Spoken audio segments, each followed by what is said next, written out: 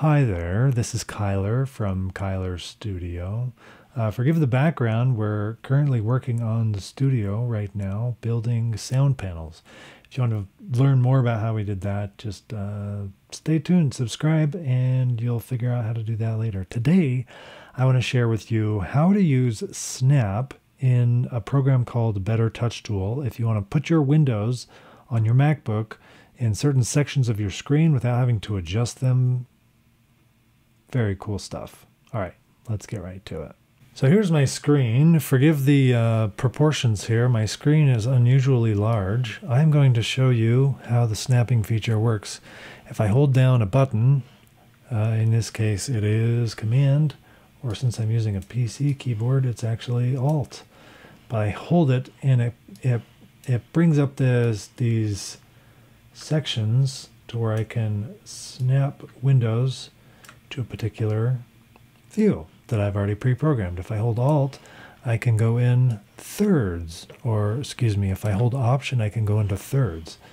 So then I can, you know, arrange my windows however I want. I can have a lot of little windows or a big window or any combination in between. The flickering is due to uh, the recording software that isn't 100% perfect. I'll give you that. Okay, I zoomed in here a little bit to show you how this thing works. If you go up to the top right, click this icon with a hand over a trackpad, come down to snap areas, and you can edit snap areas. Or if you select a window, you can create a snap area. So let's say I want this thing to go uh, like this, only, I don't know, a third of the right half of the screen. I have that window selected snap areas and create a new snap area. When I do that, I verify that's the window, select it, and it presents me with a new box. So this box, if I press the gear, I can decide I want that box to show up when I touch nothing, when I'm dragging any windows. I find that a little bit annoying.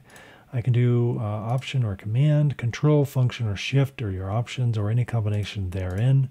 I've been using option and command for mind and a combination of the two together. The X is where the position is left and right, Y is up and down, the width and the height of the window once it snaps. You can also specify for individual applications, if you want certain applications to snap in certain areas, you can specify that. Uh, you can select a different color if you'd like. Uh, I usually stay with all the same color, but those are options. And all right, let's just mix it up a little bit. Okay, this one, whatever you want to call it. And you can format it. I usually just have come down and centered it, you know, somewhat like that. And you can reshape it. Uh, it tends to work that if you shape it the size of the window that you want, but also not being in the way of the other windows. There you go. And then it's done. Command W to get out of that. If you want to edit them, go back up to snap areas, edit snap areas. You can see the new one we created right there. And it shows you the border of where it has been created. And of course you can edit everything afterwards.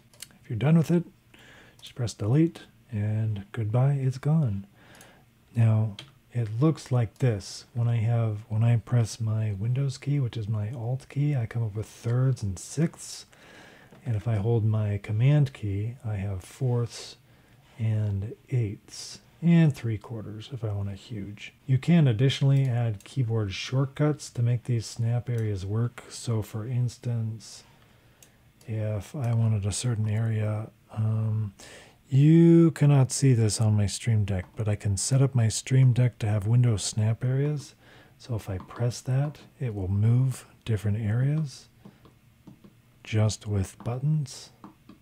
So that's also a great feature. You add that to, uh, that'll be a different tutorial. Anyway, that's it for now. Hopefully you enjoyed the tutorial. If you have any questions or comments, please leave them in the comments below. Thumbs up if you liked it. Double thumbs down if you didn't like it. Stay tuned for more studio action coming up, and we'll see you next time.